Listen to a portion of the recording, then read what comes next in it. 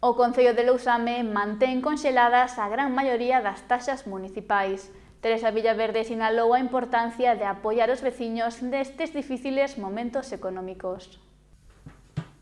Ante a inflación que se está a dar nos últimos meses en todo o territorio español, e da cal Galicia nin o Barbanza está exenta, moitos concellos continúan coa gran maioría das taxas municipais conxeladas, unha medida que se tomou durante a situación de excepcionalidade como foi a pandemia, Así a alcaldesa de Lousame sinalou a importancia de manterse ao lado dos veciños nestes momentos. Non a subimos, excepto a da piscina que se actualizou o ano pasado, porque, bueno, era, sigue sendo baixa, pero eh, non cubre o servicio e iso, iso non debe poder pasar, o sea, ten, non ten que superalo, pero ten que dar para o servicio nin, nin de lonxe.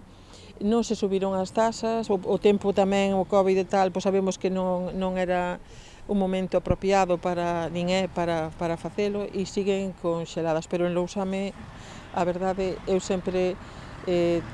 intento concienciar de que mm, pagamos a taxa do lixo e pagamos o imposto de vehículos Doutra banda Villaverde tamén apuntou que é necesario corrixir unha serie de apartados relacionados coas taxas, xa que afectan a unha parte da poboación de forma negativa.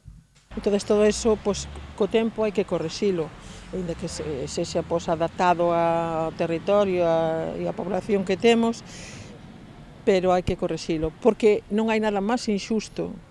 que o que está a suceder. É dicir, se uns teñen o servicio e outros non, e pagan todos o mismo, é dicir, nada, quen está sendo beneficiado